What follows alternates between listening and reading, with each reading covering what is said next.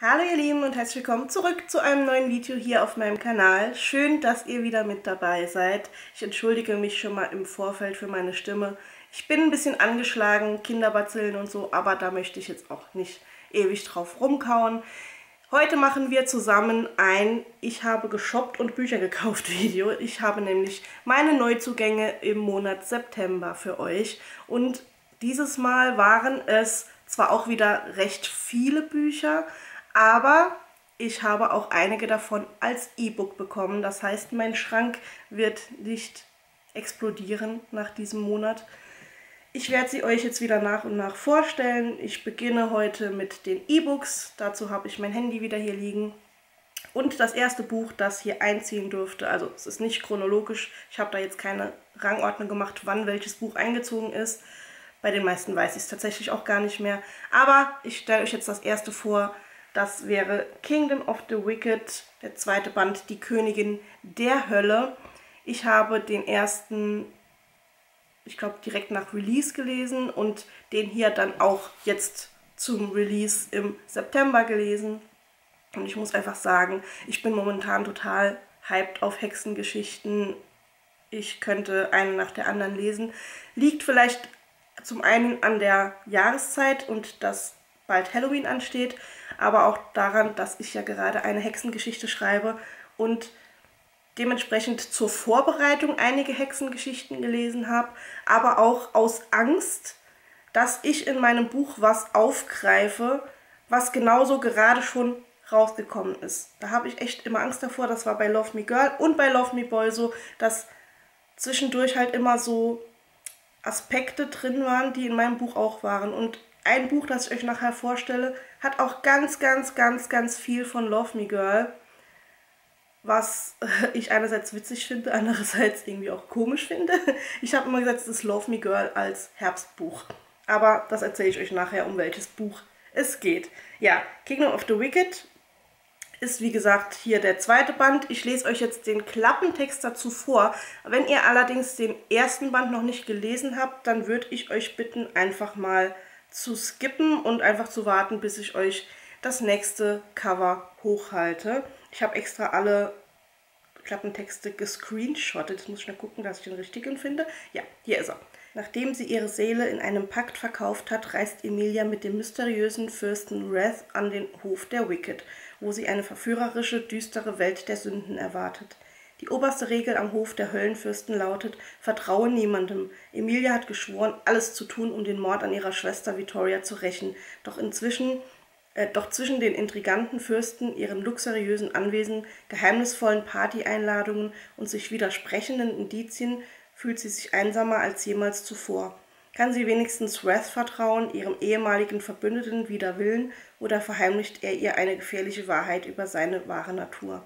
Emilia begibt sich auf die Suche nach einer Reihe von magischen Gegenständen, die ihr dabei helfen sollen, in ihrer eigenen Vergangenheit versteckte Hinweise zu enträtseln und ihr die Antworten zu liefern, die sie sich so schmerzlich ersehnt. Zahlreiche Herausforderungen stehen bevor.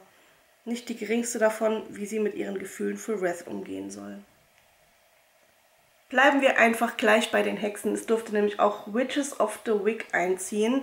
Und das Cover, wenn man das sieht, das, das schreit einfach schon Hexengeschichte und ich liebe es. Also ich finde, das Cover ist eins der schönsten Hexengeschichten-Cover, die ich oder das ich jemals besessen habe.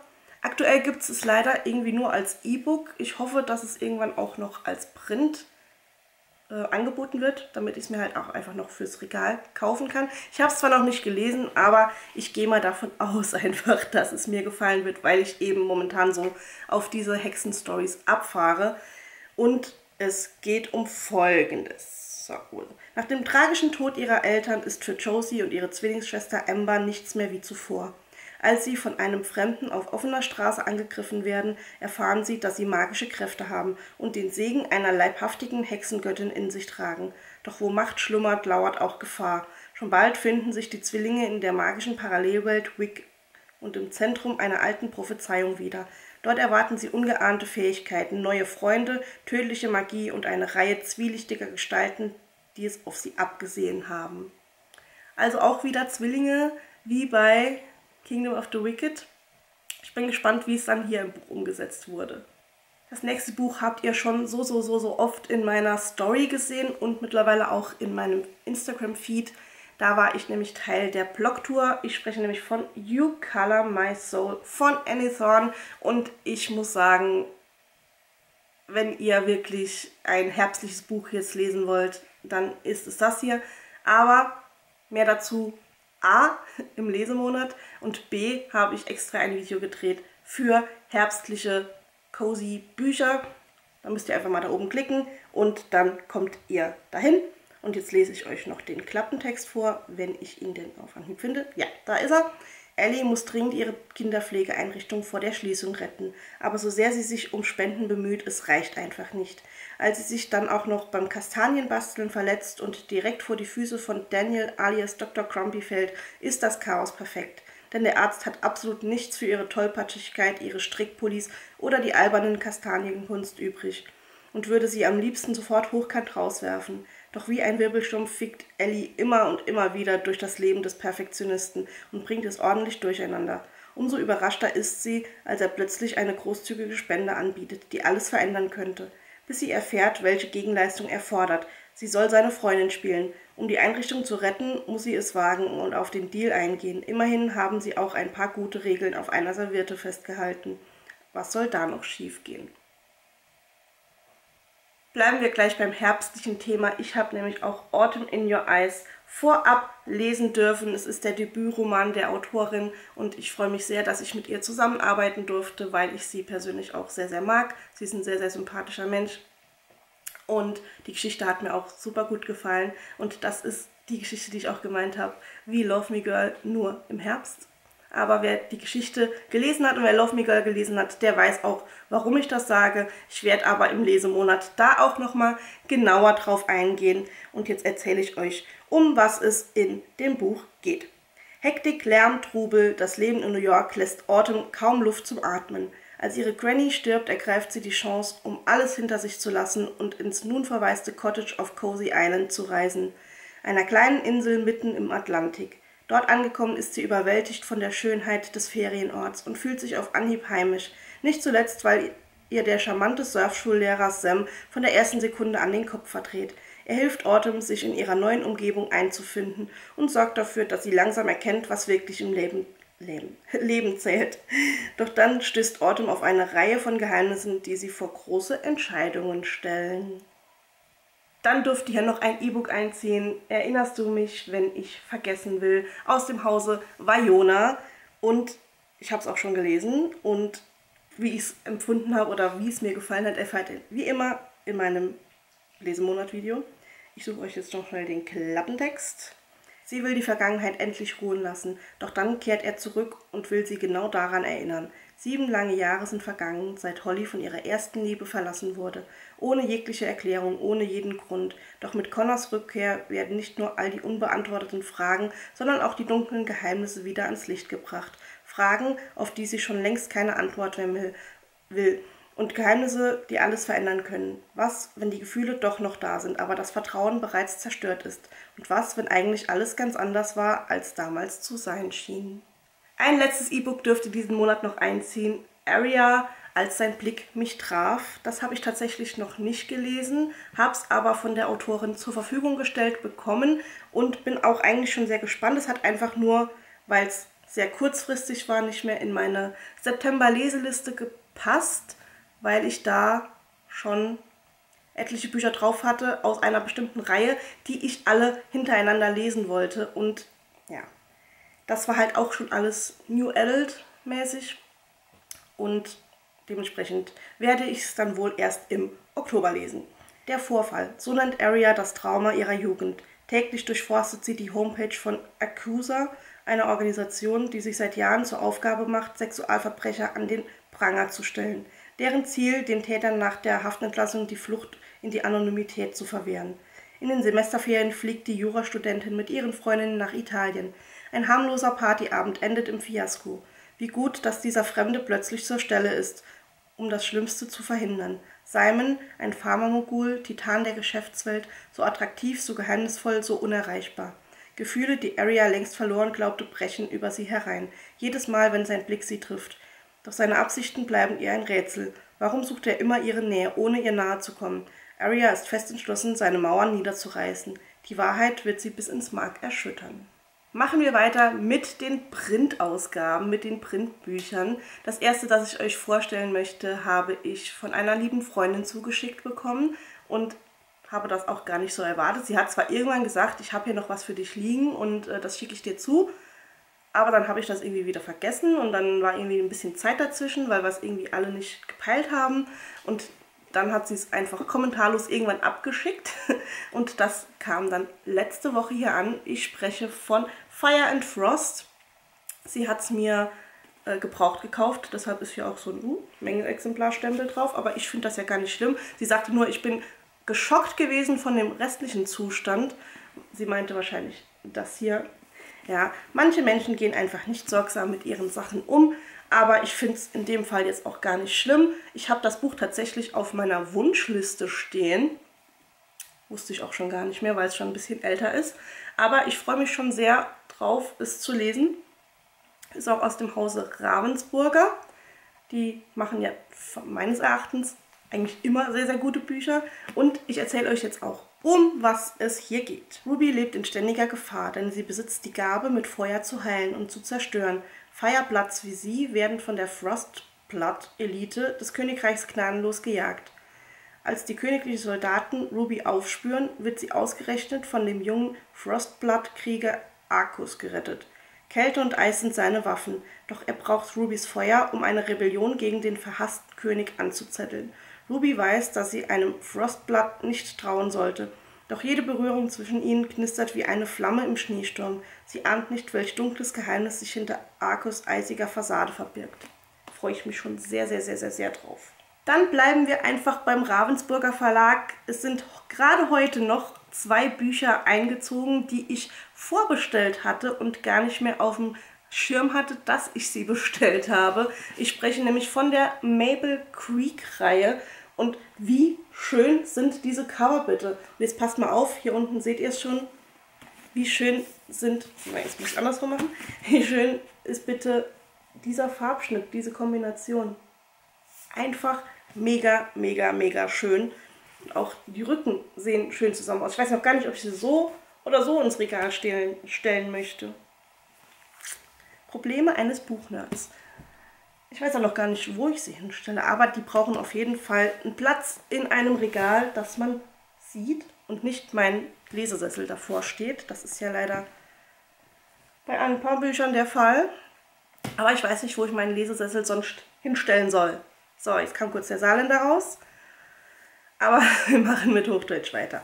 Ja, die Reihe ist, ich glaube, gestern auch released worden. Ich habe es bei Bookstagram noch gesehen, aber schon wieder verdrängt, weil ich gar nicht mehr auf dem Schirm hatte, dass ich sie bestellt habe. Jetzt muss ich mal gerade gucken. Ah, ich habe sie tatsächlich signiert bestellt.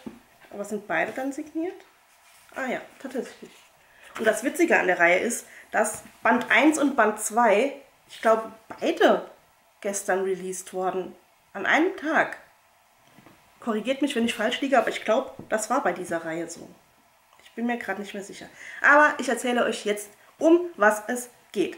Das sind ja auch so schöne Herbstbücher. Die hätten auch in mein Herbstbuch-Video gepasst. Vielleicht nächstes Jahr. Wer bist du, Joschka? Ich bin derjenige, der dich in den Abgrund stürzen wird, aber ich werde auch derjenige sein, der unten steht und dich wieder auffängt. Innerhalb eines Augenblicks ist in Miras Leben nichts mehr so, wie es einmal war. Eben noch schlendert sie mit ihren Freunden über den Unicampus und genießt die herbstliche Idylle ihrer Heimatstadt Maple Creek. Im nächsten Moment steht ihr Zwillingsbruder vor ihr, von dessen Existenz sie nichts gewusst hat. An seiner Seite ist sein bester Freund Joschka, der einen Wirbelsturm der Gefühle in Mira auslöst. Hinter Joschkas grünen Augen und Narben verbergen sich mehr Geheimnisse, als ein Mensch haben sollte, und Mira ahnt, wie sehr sich sein bisheriges Leben in der New Yorker Untergrundszene von ihrem unterscheidet. Entgegen aller Zweifel fühlt sie sich zu ihm hingezogen, und auch Joschka beginnt seine harte Schale abzulegen. Doch seine Vergangenheit ist ihm wie ein Schatten bis nach Maple Creek gefolgt und droht nun, die beiden gewaltsam auseinanderzureißen. Ich werde euch den Klappentext zu Band 2 jetzt auch nicht vorlesen. Also ich weiß, dass die Geschichte weitergeht. die in Band 1 erzählt wird. Also es ist nicht wie in anderen New Adult Büchern, dass hier jetzt zwei andere Protagonisten auftauchen. Es geht mit Mira, wie heißt sie Mira? Mira und Josh. Ich sage jetzt einfach mal Josh, weil er wird manchmal Joschka und manchmal Josh genannt. Ähm, geht mit den beiden weiter. Und da ich mich selbst auch nicht spoilern möchte, erzähle ich euch jetzt nicht, um was es in Band 2 geht, aber ich denke, die Bücher sprechen auch schon optisch für sich und der Klappentext von Band 1 war ja auch schon sehr, sehr spannend. Dann durfte ich diesen Monat die Leserunde in unserem Drachenwinkel Buchclub leiten. Wir haben das Buch Fake gelesen. Ich habe die Limited Edition, auf der Fakt steht. Es sind nämlich zwei Ausgaben davon rausgekommen und ach, es stresst mich immer noch, dass das Buch spiegelt. Ich hatte die ganze Zeit immer Angst, dass ich Fettflecken auf den Umschlag mache. Aber ja, das sind so meine Zwänge und so meine Probleme, da müsst ihr euch gar nicht dran stören. Es war tatsächlich das erste Buch, das ich von ihm gelesen habe, daher bin ich da komplett ja, ohne Erwartungen rangegangen. Wie das Ganze ausging, erfahrt ihr wie immer im Lesemonat. Das habe ich euch, glaube ich, schon 50 Mal gesagt gefühlt. Aber ich sage euch jetzt noch, um was es in dem Buch geht. Patrick Dostert freut sich auf einen freien Tag mit seiner Frau Julia, als noch vor dem Frühstück zwei Beamte der Kripo vor der Tür stehen. Patrick bittet sie herein und von einer Minute zur anderen ändert sich alles für ihn. Er wird verdächtigt, drei Tage zuvor eine Frau misshandelt und entführt zu haben. Patrick hat ein Alibi für die Tatnacht.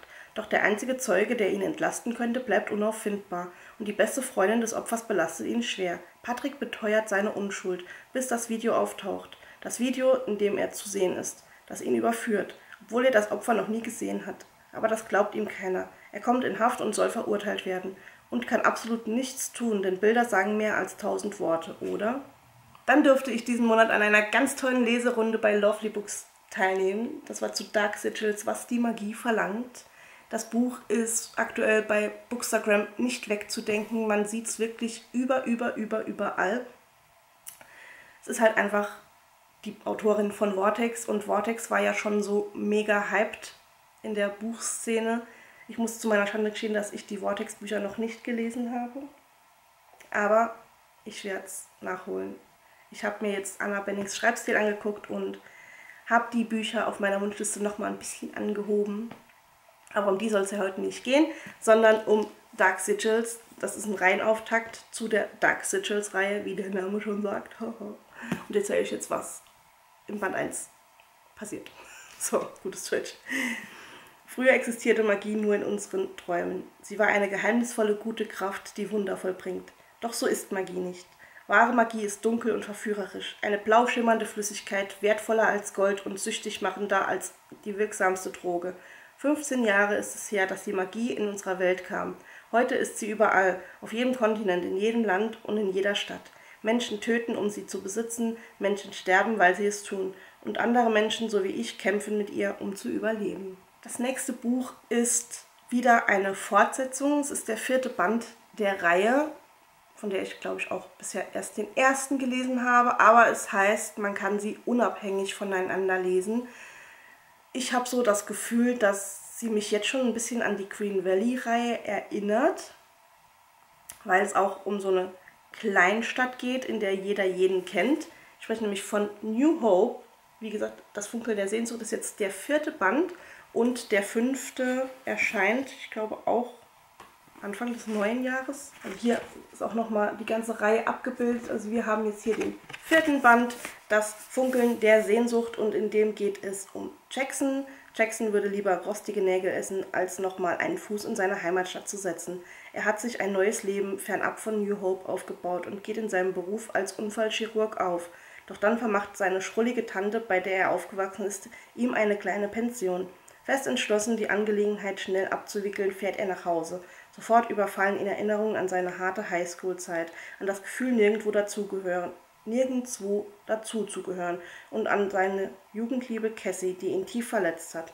Aber ausgerechnet Cassie ist die einzige Maklerin weit und breit und er braucht ihre Hilfe. Das Gefühlschaos ist vorprogrammiert. Ich bin schon sehr gespannt, ob man sie wirklich unabhängig voneinander lesen kann. Aber das steht auf meiner, ich lese es direkt im Oktober Liste. Das nächste Buch habe ich tatsächlich schon gelesen und gestern beendet.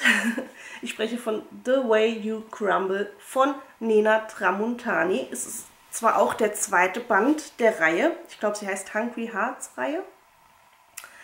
Aber diese Bücher kann man wirklich unabhängig voneinander lesen. Ich kann schon mal so viel sagen. Man kann ihn ruhig lesen, auch wenn man Band 1 noch nicht gelesen hat. So viel dazu. Hier geht es um Echo und Alexis. Ihr Leben schmeckt schon immer bitter. Nur er besitzt die Gabe, es zu versüßen. Das ist so ein schöner Satz.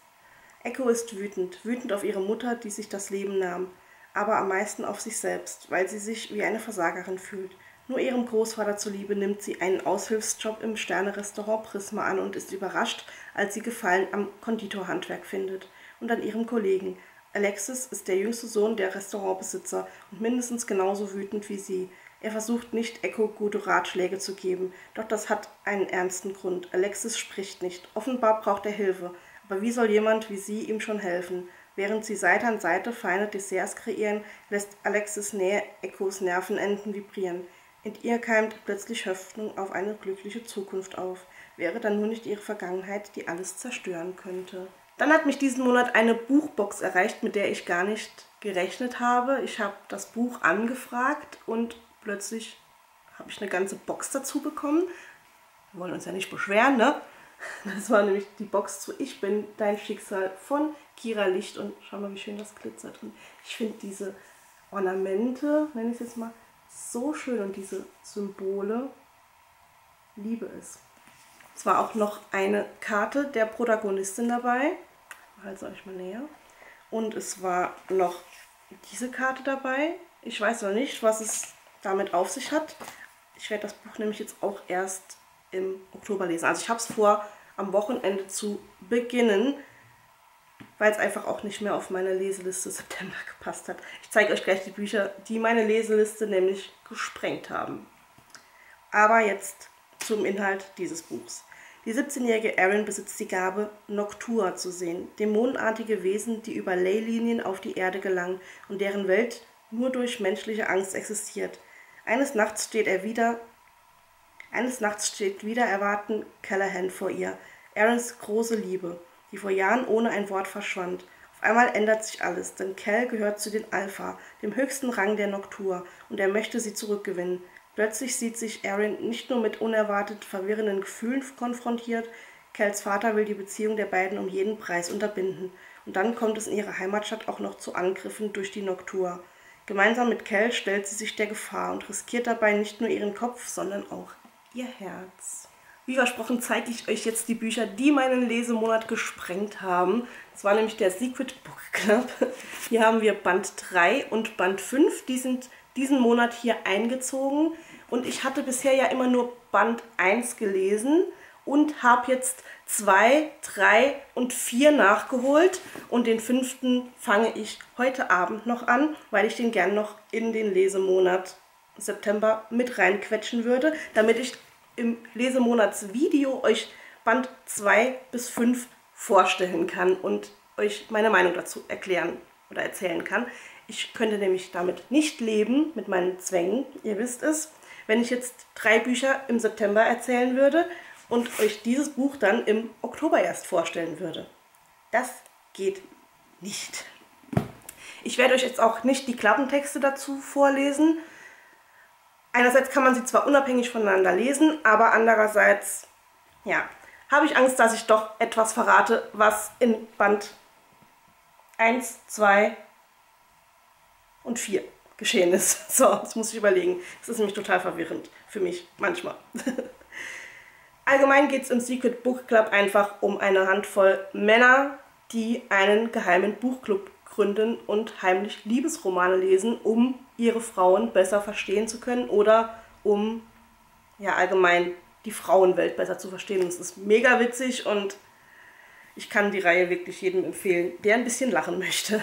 Beim nächsten Buch habe ich ewig hin und her überlegt, kaufst du es jetzt, kaufst du es nicht, ja, nein, ja, nein, ja, nein, wie das halt manchmal so ist. Man kann ja nicht immer alle Bücher kaufen, die man gerne haben möchte. Und ich war mir hier halt so unschlüssig, weil mir ihr Debütroman jetzt nicht so zugesagt hat. Aber ich finde die Autorin einfach total sympathisch und Banane und einfach cool drauf, ist eine coole Socke. Ich spreche nämlich von in ich spreche nämlich von Inka Lindberg. We Fell in Love in Oktober ist ihr zweites Buch. Also das erste war ein Einzelband. Ich glaube, das hier ist auch ein Einzelband. Und ich folge ihr schon ganz, ganz lang bei YouTube und bei Instagram.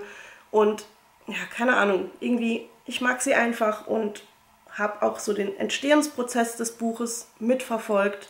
Und irgendwie habe ich jetzt gesagt, komm, ich möchte es einfach jetzt auch signiert haben. Es ist aber neutral signiert weil ich mir halt eben unschlüssig war wegen dem ersten Buch, das sie rausgebracht hat. Ob das hier dann halt auch wieder so klischeebehaftet wird. We will see. Ich lese euch auf jeden Fall vor, um was es geht. Lisa fühlt sich, als würde sie ersticken. Es muss doch mehr geben im Leben als eine Ausbildung zur Bankkauffrau. In einer Kleinstadt, inklusive übergriffigem Chef. In einer Spontanaktion schmeißt Lisa ihre Ausbildung hin und bricht mit allem, was ihre Eltern und ihr Freund Max sich für sie vorgestellt haben. Sie bucht ein Busticket nach Köln und landet in der WG der Tätowiererin Carla. Zwischen Couchsurfing-Partys und existenziellen Lebenskrisen erkundet sie nicht nur ihre Sexualität, sondern auch die Möglichkeit, dass Träume keine Träume bleiben müssen. Klingt auf jeden Fall sehr, sehr cool und ist mal wieder eine schöne, queere, ja, ich würde sagen Liebesgeschichte, aber we will see. Ich weiß es nicht, ob es wirklich eine Liebesgeschichte wird, weil in ihrem Debüt auch viel um Liebe ging, aber es war keine klassische Liebesgeschichte. Von daher, wir werden uns überraschen lassen müssen. Das letzte Buch, das hier eingezogen ist, ist eine Sonder, Sonder, Sonder, Sonder, Sonderausgabe. Das Buch gibt es nämlich eigentlich schon länger auf dem Markt, auf dem Buchmarkt.